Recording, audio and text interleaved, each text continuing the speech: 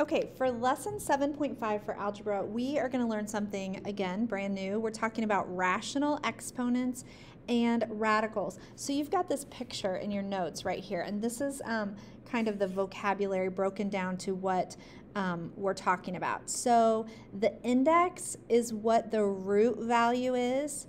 This is a radical sign and the radicand is the number that's basically being um, the big number that usually we're taking some type of a root of. So something you need to know is there's a fancy way to rearrange these if you want to get rid of the radical sign. So you can either have it in radical form or you can have it in exponential form. So I, I actually want you to look at this one because just because my eyes hit it. If you have an 8 as your radicand and you have an index of 3, you can actually take this 3 and move it to the denominator of a fraction and the um, radicand becomes a whole number. If you're trying to get rid of the radical symbol, the radical sign, this is 8 to the one third. And that's because there's like a hidden invisible 1 in here. So whatever's next to the 8 becomes your numerator and whatever is outside here, the index, becomes your denominator. So it's just something, I'm sorry to tell you this, but you're just going to have to memorize this. Um, as you get into upper level math, it's just going to be a given. You're going to have to know that the cube root of 8 is also written as 8 to the 1 third power. Um, look at how they did it here. There's nothing in this, and that means square root. Anytime it's blank, that's the same thing as having a 2 there because it's the square root. And so you need to know that that 2 could be the denominator here. 25 has a 1. So it is also written, the square root of 25 could be written as 5 to the 1 half power. So that is another way to write it similarly. Oh, here actually because the square root of 25 is 5 we're going to do the squared 25 sorry 5 squared is 25 we're going to do this a lot down here. So let's actually go down and look at some examples. The cube root of 125 means what can you multiply three times to get 125 a number times itself times itself again and that is going to be 5 that's the first method of just solving it um, another method is this is what I was telling you you really need to know as you get into upper level maths. If it's the fourth root of 16, that's the same thing as saying 16 to the 1 fourth power.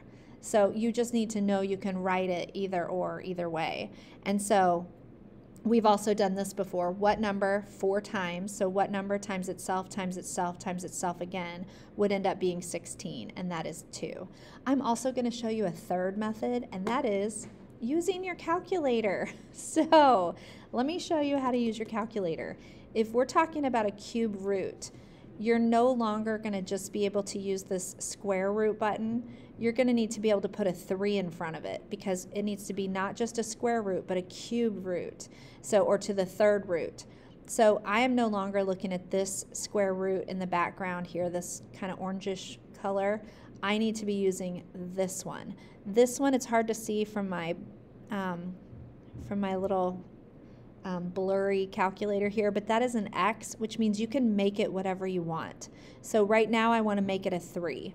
So I'm going to put in a 3 first, and then I'm going to put it, push the second button because I need to switch it to the X root. And it looks like this.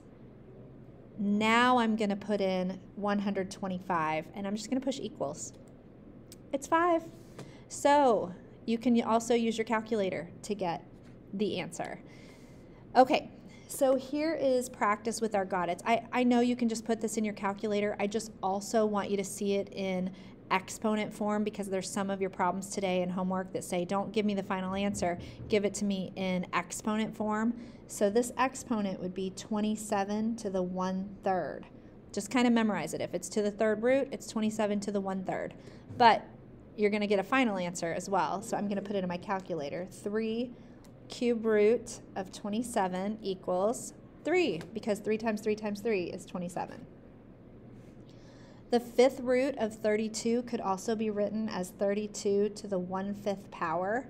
I just want you to see that and know it. The more I say it, the more I want you to memorize that this is the radical version and this is the exponent version of the same thing. These are just saying the same thing. what number times itself times itself times itself times itself times itself five times would be 32. So we're going to put it practice putting it in your calculator. So I'm going to push 5 and then my shift and then my x to the root button of 32 and it is 2. 2 times 2 times 2 times 2 times 2 would be 32. All right? 64 cube root would be the same thing as saying 64 to the one-third power in your calculator. The cube root of 64 is 4. That means 4 times 4 times 4 is 64. Okay, and then usually you don't see a 2. Usually if it's a square root, it'll just be like this because that's just the automatic square root. If there's nothing there, you assume it's a 2. What number times itself is 36? It's 6. Oh, but this could also be written in radical form as 36 to the 1 half exponent. So if it asks you to write it in exponent form, this is it. But if it wants you to just solve it, you're just going to solve it out. Okay. Oh, here we go. Converting it into radical form. So now I'm giving you a fraction um, exponent and I want you to give me the radical. I want you to give me the square root button um, square root symbol. So 12 doesn't have an exponent on it, so 12 is going to stay outside. But the a to the 2 thirds is going to go into radical form. So you've got an a here. All right, let's think this through. The numerator is going to go with the a. This is going to stay in with the radicand. The denominator is what your root is going to be. It's what your index is. So this is the final answer. I know this is weird. You're just going to have to get used to how it works. In a fractional exponent, the numerator goes with the um, radicand, stays under, and the denominator is what your root value is. Let's practice it a few times. I think you just need to have it in your notes and you just need to see it um, a few times. So let's make our radical. A is what's here. The numerator, 5, goes with the a, and the 6 is the root value. All right, 5 stays out. 5 does not have an exponent on it, so 5 is going to stay outside the radical. However, x is going to go in along with the 1, which I'm going to leave hidden invisible because if it's a 1, you don't need it. And the 3, the denominator of 3, is going to be the cube root. Okay, if, um, if you've got those, then you should be able to do it opposite. So now I've given it to you in this form and I want you to write it with a fractional exponent. So basically we're just doing what we did above, opposite. So we know B is going to have a 3 in the numerator and 5, the fifth root, is going to be the denominator. So again, you just need to practice it a few times. B to the th 3 fifths, B to the 3 fifths power. Um, okay, for the 27, this one has a little bit more work because the 27 is going to also, since it's inside, is going to also have the 5 thirds. So I want to write it like this. Here, I'll start by writing it like this so you understand. 27 d to the fifth. If all of it comes out, there's a hidden invisible 1 third because the 3 is the root we need to distribute, basically, I'm using that term, to the 27 and to the d to the fifth. So it's going to be written at first like 27 to the one third times d to the fifth to the one third. So let me let me remind you what to do if it's to the fifth and that whole thing is to the one third. You need to multiply these in. So it's like saying 5 times 1 third, which you can use your calculator, or you know that's going to be over a hidden invisible 1 and multiply straight across, straight across. So this is going to be the equivalent of d to the 5 thirds. Okay, that's what that is. We've also still got 27 to the 1 third. So here's what you can do if you know that 27 to the one-third power, you can simplify this. You can either use your calculator or you can think of what number times itself times itself is 27. Um, you can probably do that in your head, but since we're practicing using this, I want to do the cube root of, oh, sorry, the cube root of 27, and that is 3, because 3 times 3 times 3 is 27. So your final answer here, this part turns into 3, and you still have your d to the 5 thirds. So that's all you can do with that. Okay, that was a lot of steps. You might review doing that. Um, if you're ready, though, to try a got it, go ahead and try A and B down here, um, putting them with exponents in exponential form. Okay, just having this memorized, S2 is your, to the squared, that's going to be your numerator, 3 is going to be your denominator.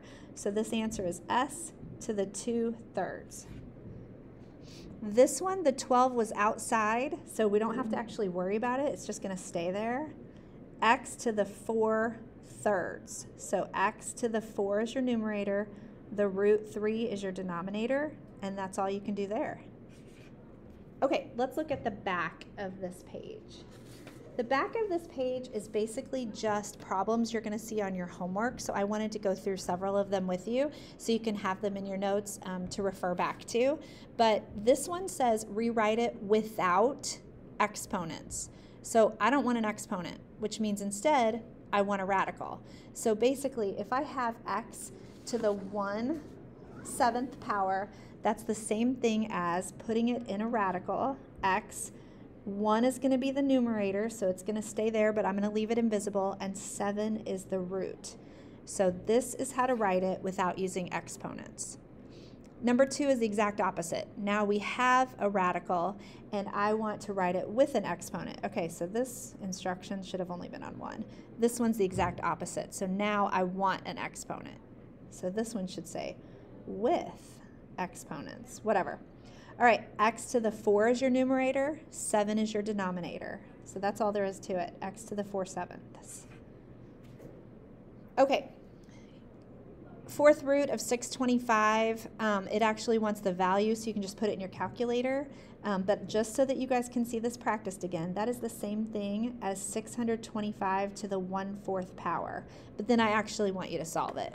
So fourth root is 4 I have to shift it to get this one to 625 equals 5, which means 5 times 5 times 5 times 5 equals 625. The cube root of 729, it could also be written as 729 to the 1 3rd power. Again, I'm just doing this to show you that these are the same thing. You'll see it either way, and you need to be able to transfer back and forth to it at any given time. And then I'm going to solve it in my calculator. Cube root of 729 equals 9. 9 times 9 times 9 must be 729. Okay, on number 5, 25 is outside of the exponent, so it can stay on its own. It can just be 25. And then x to the 1 half I want you to remember that you can throw the X in there with a 1 that we're going to leave invisible and a 2 that would go here. And I'm okay if you put the 2 there. I'm not sure MathXL wants you to though because if you leave it blank, you assume that it's a square root because this is the technical square root value um, symbol.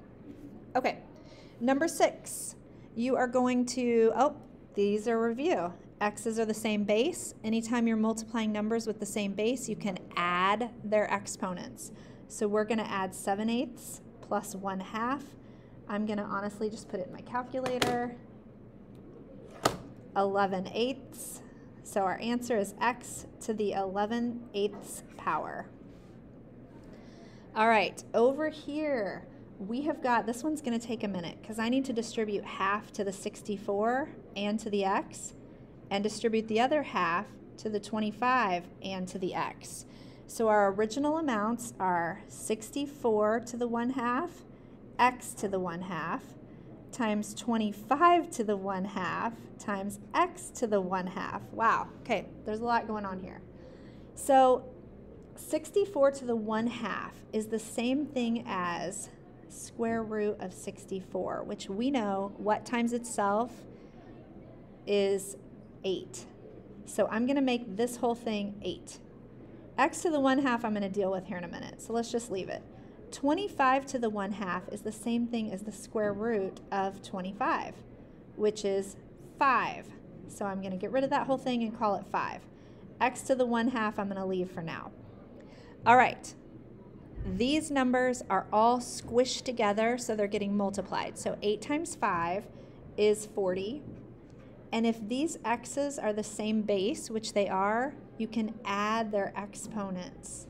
So we have x to the 1 half plus another 1 half.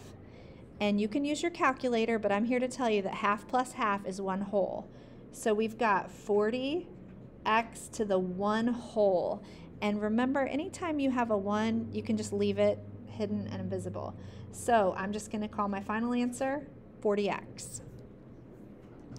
All right, last couple of problems. Um, this just wants you to make sure it's in exponential form. So they don't want the radicals, they just want exponents. So x squared with a cute with a fifth root is just the same as saying x to the 2 fifths power.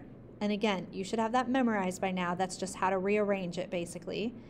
And we're subtracting x to the nothing there means there's a hidden invisible 1.